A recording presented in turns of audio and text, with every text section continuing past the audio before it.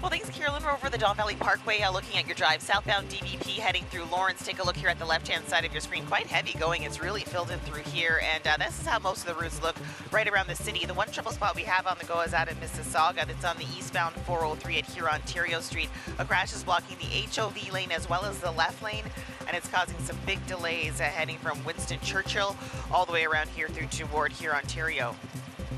Protect your vehicle with Mobil 1, the world's leading synthetic motor oil brand. Get 50% off Mobil 1 engine oil at all Canadian tire stores September 6th to 9th. Carolyn.